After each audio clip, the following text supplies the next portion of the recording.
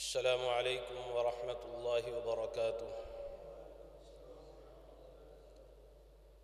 الحمد لله الحمد لله نحمده ونستعينه ونستغفره. ونعوذ بالله من شرور أنفسنا ومن سيئات أعمالنا. من يهده الله فلا مضل له ومن يضلله فلا هادي له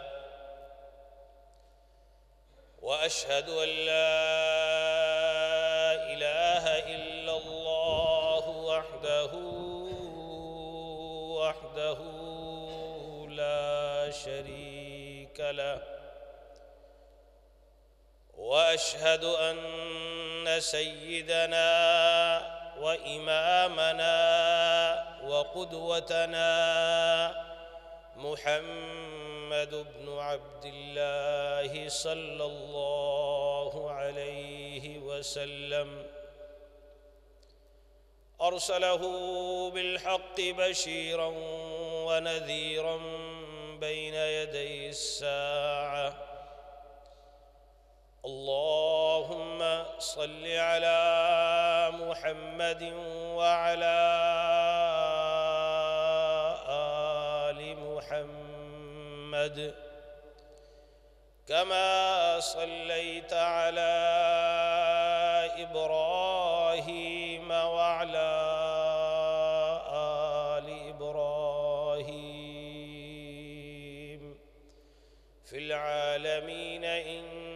انك حميد مجيد. وبارك على محمد وعلى آل محمد كما باركت على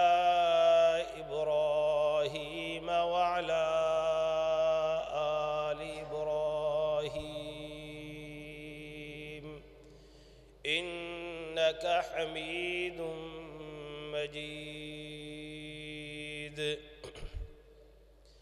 أما بعد فإن خير الحديث كتاب الله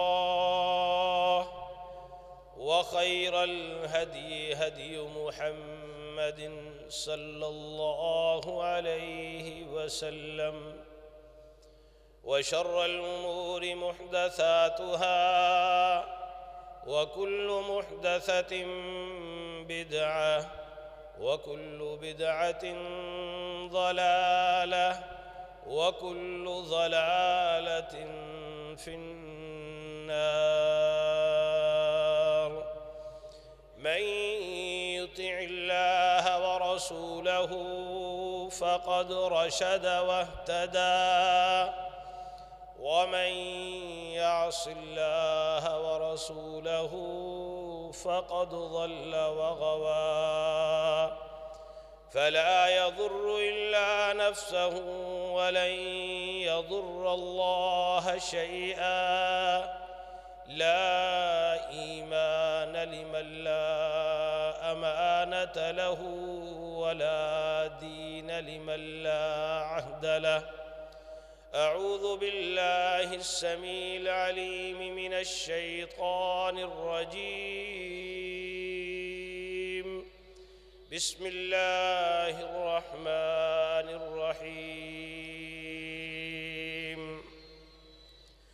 ادعوهم لآبائهم هو أقسط عند الله فإن لم تعلموا آباءكم فإخوانكم في الدين ومواليكم وليس عليكم جناح فيما أخطأتم به ولكن ما تعمدت قلوبكم وكان الله غفورا رحيما. رب اشرح لي صدري ويسر لي أمري. واحلل عقدة من لساني يفقه قولي. رب زدني علما. اللهم انفعنا بما علمتنا وعلمنا ما ينفعنا وزدنا علما. رب أعوذ بك من همزات الشياطين. وأعوذ بك رب أن يحضرون.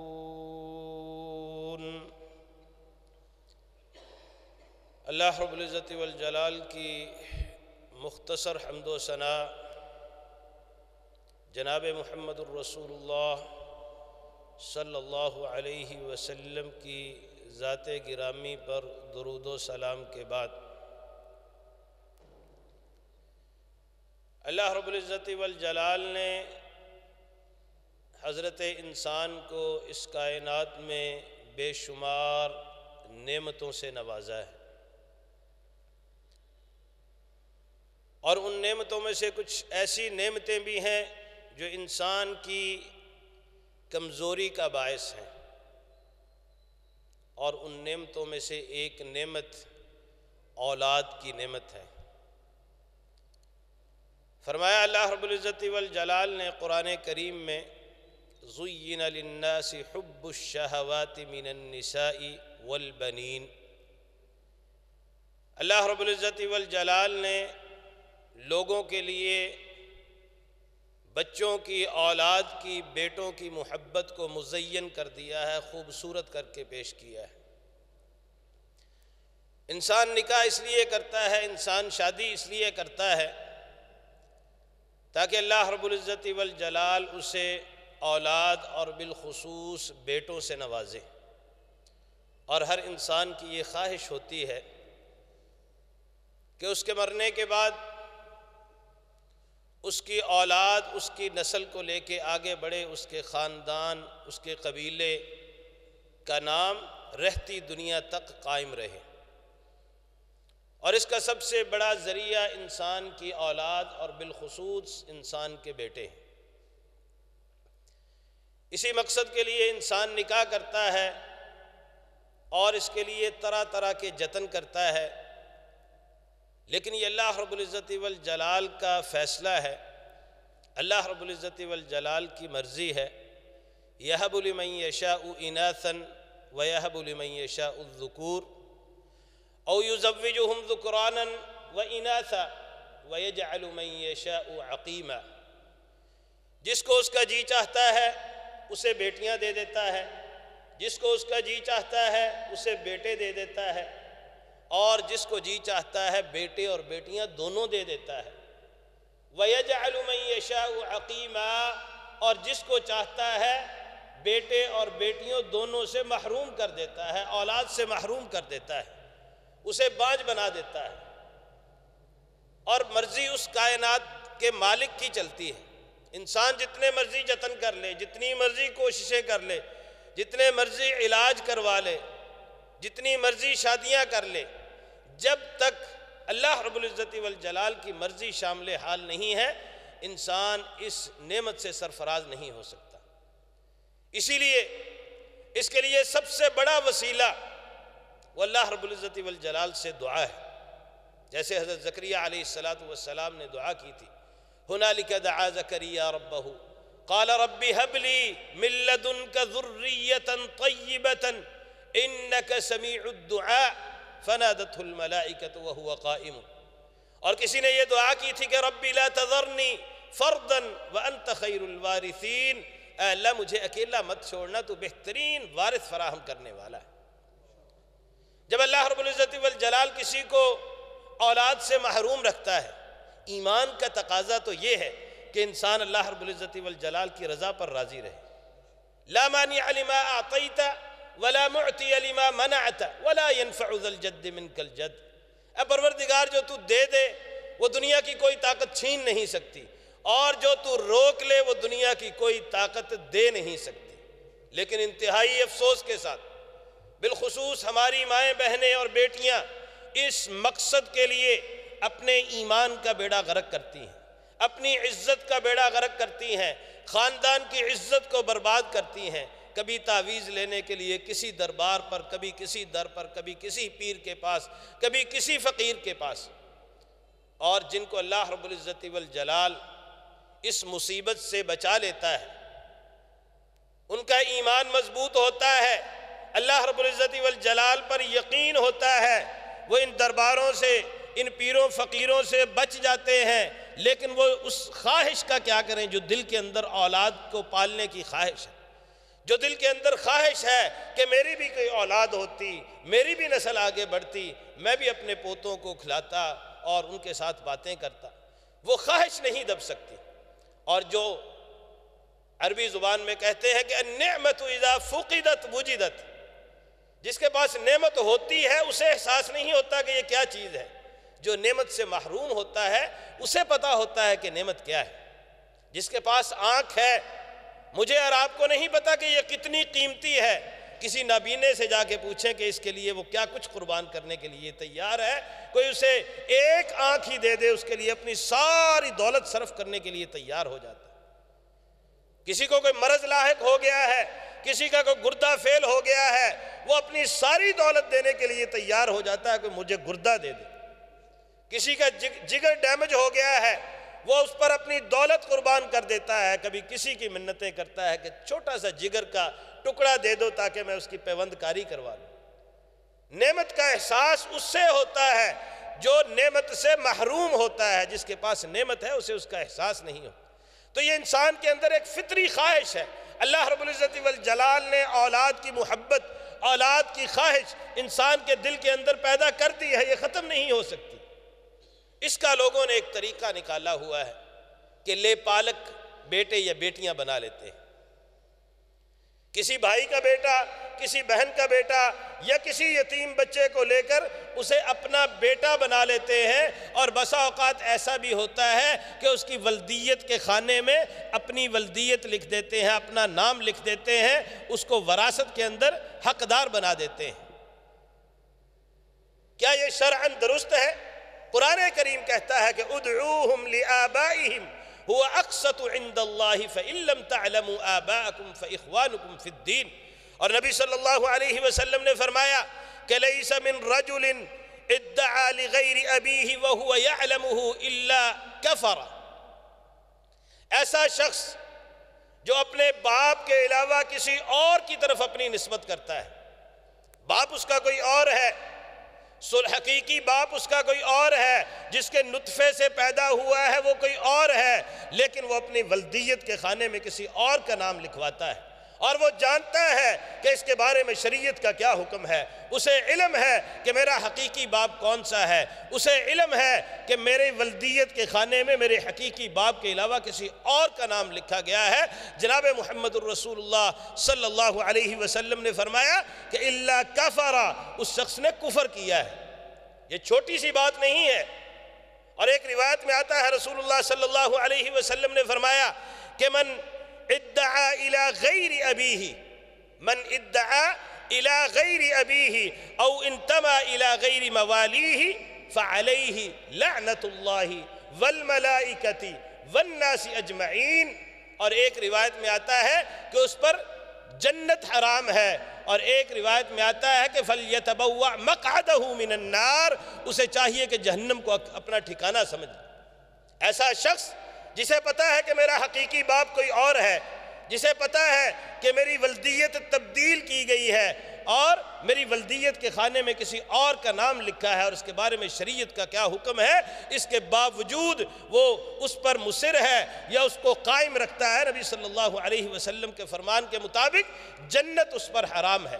فَلْيَتَبَوَّعْ مَقْعَدَهُ مِنَ النَّارِ، اسے چاہیے کہ جہنم کو اپنا ٹھکانہ بنا لے۔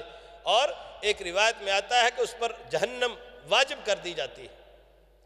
اور جو میں نے بھی آپ کو پڑھ کے سنائی کہ فَعَلَيْهِ لَعْنَةُ اللَّهِ، اس پر اللہ رب العزت والجلال کی لانت اس پر فرشتوں کی لانت اس پر تمام لوگوں کی لانت اس لیے کہ اس کے مفاسد بہت بڑے ہیں۔ اس کے نقصانات بہت بڑے ہیں۔ یہ اللہ رب العزت والجلال کی بہت بڑی نافرمانی ہے۔ نکاح اللہ رب العزت والجلال نے کس لیے رکھا ہے؟ ایک عورت کو ایک مرد کے ساتھ اٹیچ کس لیے کیا ہے؟ اس لیے کہ تاکہ حسب و نصب خلط نہ ہو۔ پتہ چلے کون کس کا خون ہے، کون کس کا بیٹا ہے، کون کس کی اولاد۔ ہے وگرنہ تو اگر یہ مقصد نہ ہوتا، اگر یہ مسئلہ نہ ہوتا تو پھر کلی چھٹی ہوتی جو جس کے ساتھ مرضی تعلقات قائم کرتا پھرتا۔ اصل بنیادی مقصد یہ ہے کہ تمہارے حسب و نصب کی حفاظت کی جائے۔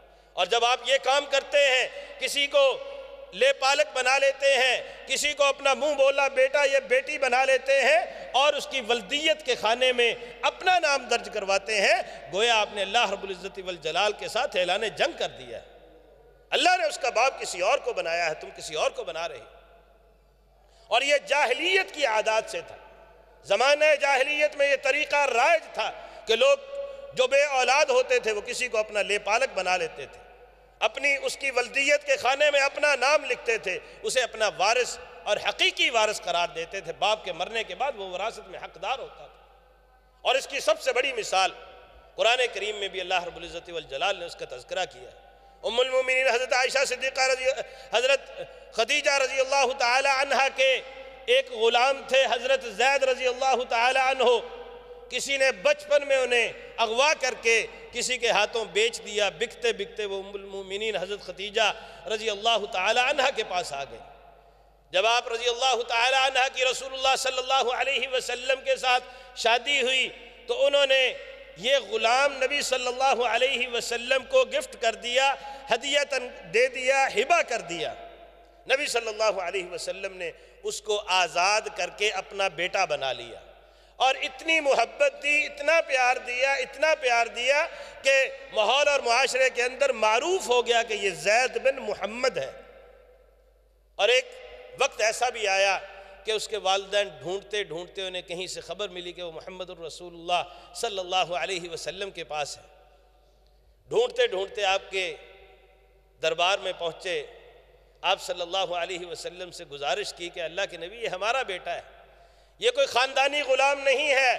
کسی نے اسے اغوا کر کے بیچ دیا تھا۔ اس وجہ سے یہ اس کے گلے کے اندر غلامی کا توق پڑ گیا ہے۔ اگر آپ اجازت دیں تو ہم اسے واپس لے جائیں۔ اگر آپ اس کی قیمت لینا چاہتے ہیں تو ہم قیمت دینے کے لیے تیار ہیں۔ رسول اللہ صلی اللہ علیہ وسلم رحمت للعالمین تھے۔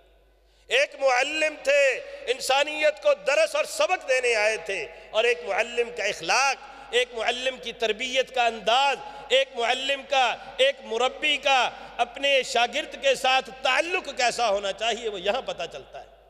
رسول اللہ صلی اللہ علیہ وسلم نے فرمایا کہ زید سے پوچھ لو، اگر جاتا ہے تو مجھے کوئی اعتراض نہیں ایک طرف حقیقی ماں باپ ہے اور ایک طرف وہ شخصیت ہے جو حقیقی باپ نہیں ہے، لیکن پیار اتنا دیا ہے، محبت اتنی دی ہے، شفقت اتنی کی ہے۔ حضرت زید رضی اللہ تعالیٰ عنہ نے حقیقی ماں باپ کو رد کر دیا کہ ان کے ساتھ نہیں، آپ صلی اللہ علیہ وسلم کی خدمت میں رہنا چاہتا ہوں۔ نبی صلی اللہ علیہ وسلم نے اتنی محبت، اتنی شفقت دی۔ حضرت زید نے ایک مرتبہ فرمایا، اللہ کے نبی، میری کسی آزاد عورت کے ساتھ شادی کروا دیں۔ غلام تھے نا؟ اگرچہ آزاد کر دیا تھا، لیکن وہ غلامی کا دھبا تو اوپر موجود تھا۔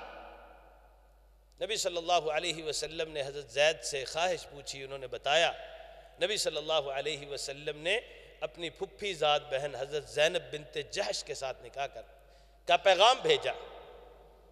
وہ خاندان نبوت تھا۔ قریشی تھے، مکہ کے سردار تھے، عربوں کے سردار تھے، ایک نام تھا، ایک مقام تھا، اور دوسری طرف ایک آزاد کردہ غلام۔ انہوں نے کہا، یہ کیسے ہو سکتا ہے؟ کہ ایک غلام آزاد کردہ غلام کے ساتھ قریشی خاندان بنو ہاشم کے بیٹی کی شادی کر دی جائے، یہ ممکن نہیں ہے۔ جب پتا چلا حضرت زینب اور حضرت زینب کے بھائی نے اعتراض کیا تھا، جب پتا چلا کہ رسول اللہ صلی اللہ علیہ وسلم کا حکم ہے، آپ نے یہ خواہش ظاہر کی ہے اور آپ کا یہ مشورہ ہے، تو حضرت زینب رضی اللہ تعالیٰ عنہ نے کہا کہ آمنا و صدقنا جو اللہ کے نبی نے کہا ہم نے منظور کر لیا۔ اتنی شفقت تھی، اتنی محبت تھی اور ماحول اور معاشرے میں معروف تھا کہ زید بن محمد، لیکن اللہ رب العزت والجلال نے قرآن کریم کی یہ آیت نازل کر دی ادعوہم لآبائیہم هو اقسط عند اللہ فَإِن لَمْ تَعْلَمُوا آبَاءَكُمْ فَإِخْوَانُكُمْ فِي الدِّينِ، ان کو ان کے باپوں کے نام سے پکارو۔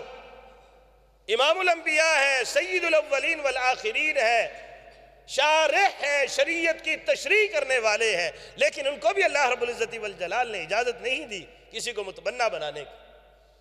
یہ زمانہ جاہلیت کی عادات تھی جب قرآن کریم کا یہ حکم نازل ہو گیا، قرآن کریم کی یہ آیت نازل ہو گئی، اس کے بعد کسی کو حق نہیں ہے کہ وہ کسی کو اپنا لے پالک یا اپنا منہ بولا بیٹا بنائے۔ شریعت نے اس باب کو ہمیشہ کے لیے بند کر دیا ہے، حرام قرار دے دیا ہے۔ ہاں اگر کوئی کسی یتیم کی پرورش کرنا چاہتا ہے، اگر کوئی کسی مسکین کی پرورش کرنا چاہتا ہے، اس کی پرورش کے لیے اسے بیٹے کا پیار دیتا ہے اور اسے بیٹا کہہ کر مخاطب کرتا ہے تو اس کی شریعت اجازت دیتی ہے، لیکن یہاں یہ بات ذہن نشیر کر لینی چاہیے، اچھی طرح سمجھ لینی چاہیے۔ سب سے پہلی بات یہ ہے کہ اس کی ولدیت تبدیل نہیں ہوگی۔ پڑھے لکھے لوگ، دیندار لوگ، دین کا علم رکھنے والے لوگ، اس مسئلے کو سمجھنے والے لوگ کبھی کبھی مجبور کر دیتے ہیں ماں کو کہ یہ بیٹا کسی اور کو دے دو، میرے بھائی کو دے دو، میری بہن کو دے دو، اور پھر اس کی ولدیت کے خانے میں بھی جس کو دیا جاتا ہے، اس کا نام لکھا جاتا ہے۔ شریعت نے تو رضات کی صورت میں بھی یہ اجازت نہیں دی۔ کوئی کسی کا دودھ پی لے، کسی عورت کا دودھ پی لے، چھوٹا بچہ شیر خار بچہ، اس کی بھی ولدیت تبدیل کرنے کی اجازت نہیں دی۔ کہاں آپ ویسے ہی اٹھا کے کسی کو دے دیں؟ اور یہ اتنا بڑا جرم ہے۔ آپ نے سنا ہوگا وہ قصہ۔ ایک صحابی نے فاختہ کے یا کبوتر کے بچے اٹھا کر اپنی جھولی میں ڈال لیے تھے۔ اور اس کی ماں کے اس کے ارد گرد چکر لگانے لگے رسول اللہ صلی اللہ علیہ وسلم نے بڑے سخت الفاظ کہے تھے۔ ماں بیٹے کو جدا کرنے کے بارے میں۔ اور یہاں آپ ایک انسان کو ایک انسان جیتے جی انسان سے اس کی اولاد کو دور کر رہے ہیں۔ صرف اس لیے کہ ان کی خواہش ہے صرف اس لیے کہ میرا بھائی راضی ہو جائے، میری بہن راضی ہو جائے، میرا فلاں عزیز و وقارب، میرا رشتہ دار راضی ہو جائے۔ قطعاً اس کی اجازت نہیں، کتنا بڑا جرم ہے ایک بیٹے کو، ایک بیٹی کو ماں سے جدا کرنا۔ آپ کو پتا ہے ماں کے دل کے اندر اولاد کی کتنی خواہش ہوتی ہے، کتنی تڑپ ہوتی ہے، کتنی محبت ہوتی ہے۔ کوئی کتنی بھی محبت دے لے، اتنی محبت کوئی نہیں دے سکتا جتنی ماں دے سکتی ہے۔ اس لیے سب سے پہلی بات یہ ہے کہ ولدیت کے خانے میں تبدیلی نہیں ہوگی، حقیقی ولدیت ہی لکھی جائے گی جو اس کا حقیقی باپ ہے، ولدیت کے خانے میں اسی کا نام لکھا جائے گا۔ اور اگر کوئی اس کے اندر تبدیلی کرتا ہے، تو میں نے نہیں کہا، شریعت نے کہا ہے کہ اللہ کفرا اس نے کفر کیا ہے۔ شریعت نے کہا ہے، فَعَلَيْهِ لَعْنَةُ اللَّهِ وَالْمَلَائِكَةِ وَالنَّاسِ أَجْمَعِينَ وَمَا يَنْتِقُ عَنِ الْهَوَىٰ إِنْ هُوَ إِلَّا وَحْيٌ يُوحَىٰ۔ اس نبی نے کہا ہے، جو اپنی مرضی سے کوئی بات نہیں کرتا، کہ اس پر اللہ کی لعنت اس پر اللہ کی لانت اس پر فرشتوں کی لانت اس پر تمام کائنات کی لانت کیوں؟ اس لیے کہ اس نے اللہ رب العزت والجلال کے حکم کو بدلا ہے۔ اور دوسری بات کہ وراثت کے احکامات میں تبدیلی نہیں ہو۔ حقیقی وارث جو ہے وہی وارث بنیں گے۔ اگر آپ چاہتے ہیں کہ ایک ایسا یتیم بچہ جس کی آپ نے پرورش کی ہے، جس کی آپ جس کو آپ نے تعلیم و تربیت دی ہے، آپ کا جی چاہتا ہے کہ یہ میرے مال میں سے کچھ فائدہ حاصل کرے، تو آپ اس کو سلس کی، ایک تہائی کی وسیعت کر سکتے ہیں کہ میرے مرنے کے بعد ایک تہائی مال میں سے اس کو جو کچھ آپ وسیعت کریں، وہ دے دیا جائے۔ لیکن وارث نہیں بنے گا۔ جس طرح باقی اولاد وارث بنتی ہے، اس طرح وہ برابری پہ وارث نہیں بنے گا۔ جس طرح بیٹا وارث بنتا ہے، اس طرح وارث نہیں بنے گا۔ جس طرح بیٹی وارث بنتی ہے، اس طرح وارث نہیں بنے۔ گا اور اس سے اگلی بات، اس سے شریعت کے احکامات تبدیل نہیں ہوں گے۔ اس سے شریعت کے احکامات تبدیل نہیں ہوں گے۔ پردے کا جو حکم ہے، وہ اسی طرح برقرار رہے گا۔ اگر وہ بچی ہے اور خامد کے لیے غیر محرم ہے، تو جو ہی وہ بلوغت کو پہنچے گی، اس کو اس سے پردہ کرنا ہو اگر وہ بچہ ہے اور عورت کے لیے غیر محرم ہے، تو اس کو، اس عورت کو اس سے پردہ کرنا ہوگا۔ شریعت کے احکام، احکامات منہ بولے بیٹے بنانے سے، لے پالک بیٹے بنانے سے تبدیل نہیں ہوتے۔ اگر کرتے ہیں، تو اس کا مطلب یہ ہے کہ آپ اللہ اللہ رب العزت والجلال، اللہ کے رسول اور اللہ اللہ رب العزت والجلال کی نافرمانی کرتے ہیں۔ اور اس کے بڑے عجیب قسم کے شرعی محضورات آپ عموماً ہمارے ہاں جوائنٹ فیملی سسٹم ہے۔ کیسے ممکن ہے، کیسے ممکن ہے کہ ایک غیر محرم کو گھر کے اندر رکھا جائے؟ خلوت بھی ہوتی ہے، تنہائی بھی ہوتی ہے۔ اور پردے کے معاملات ہیں، اور بہت سارے معاملات ہیں۔ اور ہم اس معاشرے میں رہتے ہیں، اللہ رب العزت والجلال محفوظ فرمائے۔ ایسی مثالیں بھی موجود ہیں، جس نے منہ بولا، منہ بولی بیٹی بنایا ہے، جب وہ بالغ ہوتی ہے، وہی اس کے ساتھ شادی کر لیتا ہے۔ ایسے، ایسی مثالیں موجود ہیں اور شرن اس پر کوئی پابندی نہیں ہے۔ قرآن کریم میں اللہ رب العزت والجلال نے جناب محمد الرسول اللہ صلی اللہ علیہ وسلم کے ذریعے اس رسم کا خاتمہ کیا ہے۔ وَإِذْ تَقُولُ لِلَّذِي أَنْعَمَ اللَّهُ عَلَيْهِ وَأَنْعَمْتَ عَلَيْهِ أَمْسِكْ عَلَيْكَ زَوْجَكَ وَاتَّقِ اللَّهَ وَتُخْفِي فِي نَفْسِكَ مَا اللَّهُ مُبْدِيهِ وَتَخْشَى النَّاسَ وَاللَّهُ أَحَقُّ أَن تَخْشَاهُ. فَلَمَّا قَضَى زَيْدٌ مِنْهَا وطرا زوجناكها لكي لا يكون على المؤمنين حرج في أزواج أدعيائهم إذا قضوا منهن وطرا. اللہ رب العزت والجلال نے حکم دیا تھا کہ زید طلاق دے دے تو تم نے اپنی بھوپھی ذات سے شادی کرنی ہے۔ وہ معاشرہ قبول نہیں کرتا تھا۔ اس لیے کہ وہ معاشرہ لے پالک کو حقیقی بیٹے کا مقام دیتا تھا۔ نبی صلی اللہ علیہ وسلم کو خوف پیدا ہوا کہ معاشرہ کیا کہے گا۔ اپنی متعلقہ بہو کے ساتھ شادی کر لی۔ اللہ رب العزت والجلال نے فرمایا کہ وَتَخْشَ النَّاسِ۔ اللہ تعالیٰ تو اس بد رسم کا تیرے عمل کے ذریعے خاتمہ کروانا چاہتا ہے اور تو لوگوں سے ڈرتا ہے۔ وَاللَّهُ أَحَقُ أَن تَخْشَا اللہ تعالیٰ زیادہ حقدار ہے کہ اس سے ڈرا جائے۔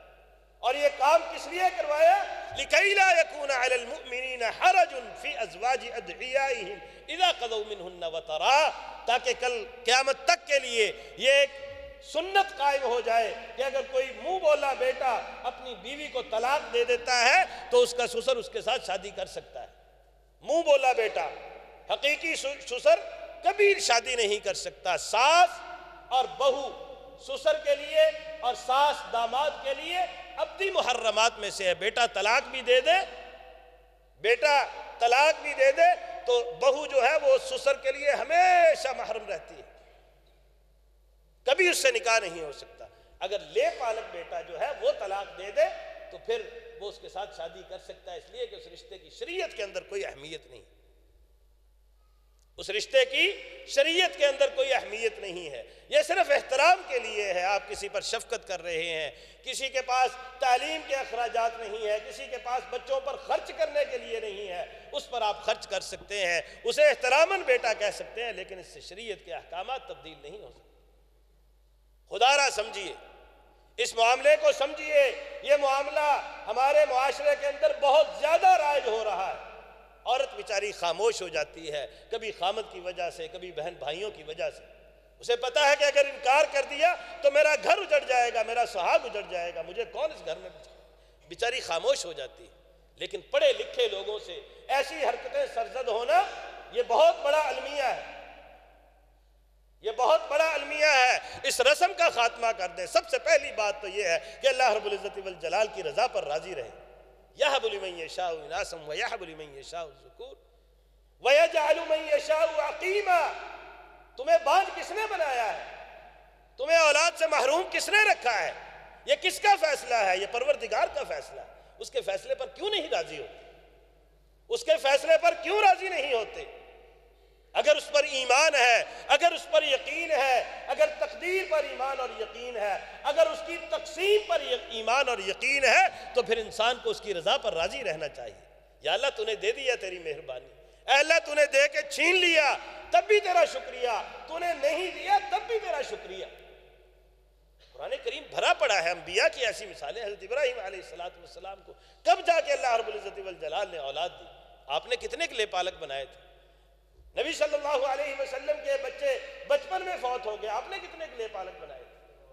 ایک بنایا تھا، لیکن وہ تب بنایا تھا جب شریعت نے حکام نازل نہیں کی تھے۔ جب شریعت نے بتا دیا ادعوہم لآبائہم هو اقصت عند اللہ فإن لم تعلموا آباءكم فإخوانكم في الدین وموالیکم ولیس علیکم جناح فیما اخطاتم بھی ہاں کسی سے غلطی ہو گئی ہے۔ کسی نے جان بوجھ کر نہیں کیا، کسی کو معاملے کا علم نہیں تھا۔ لیکن جب معاملے کا علم ہو گیا ہے، اس کے بعد اس پر اصرار کرنا، اس پر مصر رہنا، یہ اللہ رب العزت والجلال کے ساتھ اعلان جنگ ہے۔ اللہ تعالیٰ نے فرمایا وَلَكِمَّا مَا تَعَمَّدَتْ قُلُوبُكُمْ، جو جان بوجھ کر ایسی حرکت کرے، جسے معاملے کا پتہ ہے، اس کے باوجود ایسی حرکت کرے۔ یہ تو وہ ہے جن کی ماں موجود ہے، جس کا باپ موجود ہے، آپ اس کو اس سے جدا کرتے ہیں۔ شریعت تو ان کے بارے میں بھی اجازت نہیں دیتی، جو کسی حادثے میں آپ کو کوئی لے، چھوٹا سا بچہ مل جاتا ہے۔ زلزلے میں، کوئی سیلاب میں بے شمار بچے جن کے والدین فوت ہو چکے، پتہ ہی نہیں کون ہے ان کے آگے پیچھے، ان کی ولدیت کے خانے میں بھی ولدیت نہیں لکھا سکتے آپ اپنی۔ فَإِن تَعْلَمُوا آبَاءَكُمْ فَإِخْوَانُكُمْ فِي الدِّينِ، جن کے باپوں کا پتہ ہی نہیں ہے کہ اس کا حقیقی باپ کون ہے، وہاں بھی اجازت نہیں ہے کہ اس کی ولدیت کے خانے میں اپنا نام لکھو۔ فَإِخْوَانُكُمْ فِي الدِّينِ وَمَوَالِيكُمْ، وہ تمہارے بھائی ہیں، دینی بھائی ہیں، لیکن اس کی ولدیت تبدیل نہیں کر سکتے۔ میرے بھائیوں، اللہ رب العزت والجلال سے ڈر جائیے۔ یہ چیز ہمارے معاشرے کے اندر بہت زیادہ رواج پا رہی ہے اور یہ بہت بڑا گناہ ہے کسی کو کسی کے نصب کی طرح۔ یہ تو صرف نصب ہے نا۔ نبی صلی اللہ علیہ وسلم نے تو یہاں تک فرمایا، جو کسی قوم کی طرف اپنی نسبت کرتا ہے۔ اپنا قبیلہ بدلتا ہے، اپنی برادری بدلتا ہے۔ میری برادری اس کی حیثیت کوئی نہیں ہے معاشرے کے اندر، اس لیے میں آج سے چودھری بن جاتا ہوں۔ میں آج سے شیخ کہلوانے لگ جاتا ہوں۔ میں آج سے میاں بن جاتا ہوں۔ نبی صلی اللہ علیہ وسلم نے اس پر بھی لانت بھیجی ہے۔ اس کو بھی کفر قرار دیا ہے۔ اور ایک روایت میں آتا ہے، کوئی شخص اپنے بارے میں ایسا دعویٰ کرتا ہے، ما لیس لہو منہ، جو اس کے اندر نہیں ہے۔ علم کا دعویٰ کرتا ہے۔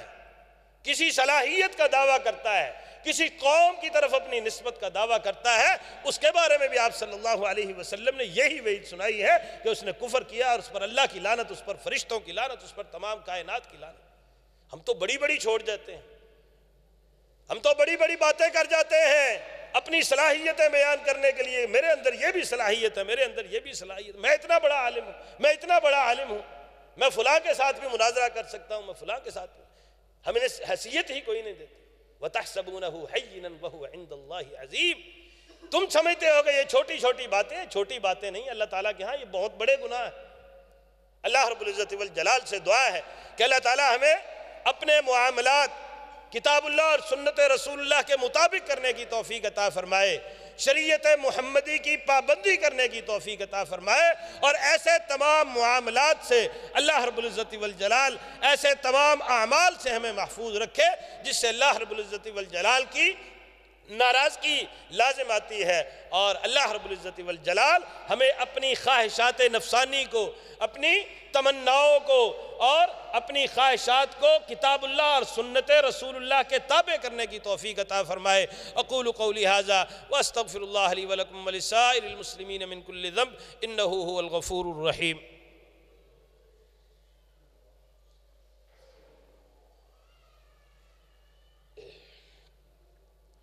الحمد لله الحمد لله نحمده ونستعينه ونستغفره ونعوذ بالله من شرور أنفسنا ومن سيئات أعمالنا. من يهده الله فلا مضل له ومن يذلله فلا هادي له وأشهد أن لا إله إلا الله وحده وحده لا شريك له وأشهد أن سيدنا وإمامنا وقدوتنا محمد بن عبد الله صلى الله عليه وسلم. أرسله بالحق بشيرا ونذيرا بين يدي الساعة. إن الله وملائكته يصلون على النبي. يا أيها الذين آمنوا صلوا عليه وسلموا تسليما. اللهم صل على محمد وعلى آل محمد كما صليت على إبراهيم وعلى آل إبراهيم إنك حميد مجيد. اللهم بارك على محمد وعلى آل محمد كما باركت على إبراهيم وعلى آل إبراهيم إنك حميد مجيد. خلاصہ کلام یہ ہے کہ شریعت کسی کو منہ بولا بیٹا بنانے کی اجازت نہیں دیتی۔ یہ زمانہ جاہلیت کی عادات تھی اور شریعت نے اس کو ختم کر دیا ہے۔ ہاں کسی یتیم کی پرورش کرنا چاہتے ہیں آپ اور اس پر خرچ کر رہے ہیں، اسے احتراماً بیٹا کہتے ہیں، تو اس اس بات کی شریعت اجازت دیتی ہے، بلکہ یہ قابل تعریف اور قابل تحسین عمل ہے۔ لیکن کسی کی ولدیت تبدیل کر دینا، کسی کو اپنا حقیقی وارث بنا لینا اور کسی کو اپنے غیر محرم کو اپنے گھر کے اندر رکھنا شریعت اس کی قطعاً اجازت نہیں دیتی۔ اگر کسی سے کوئی ایسی غلطی سرزد ہوئی ہے تو اسے چاہیے کہ اللہ رب العزت والجلال سے توبہ کر لے اور وہ بچہ اس کے حقیقی والدین کو واپس کر دے اور اس کی ولدیت کے خانے میں اس کے حقیقی والد کا نام درج کروا دے۔ اللہ تعالی ہمیں سمجھنے کی توفیق عطا فرمائے۔ اللہم اغفر للمسلمین والمسلمات والمؤمنین والمؤمنات الاحیاء منہم والاموات۔ اللہم اغفر لنا ولوالدینا۔ اللہم اغفر لنا ولوالدینا۔ اللہم اغفر لنا ولوالدینا۔ اللهم رب ارحمهما كما ربيانا صغيرا اللهم رب ارحمهما كما ربيانا صغيرا اللهم اغفر لهم وارحمهم وعافهم واعف عنهم. اللهم اجعل قبورهم روضة من رياض الجنة. اللهم اجعل قبورهم روضة من رياض الجنة. ربنا اغفر لنا ولإخواننا الذين سبقونا بالإيمان ولا تجعل في قلوبنا غلا للذين آمنوا. ربنا إنك رؤوف رحيم. اللهم ارحم على حالنا ولا تنظر إلى سوء أعمالنا. اللهم رحمتك نرجو فلا تكلنا إلى أنفسنا طرفة عين وأصلح لنا شأننا كله. لا إله إلا أنت. اللهم لا تسلط علينا بذنوبنا من لا يخافك فينا ولا يرحمنا. اللهم آمنا في أوطاننا وأصلح أئمتنا وولاة أمورنا. اللهم آمنا في أوطاننا وأصلح أئمتنا وولاة أمورنا.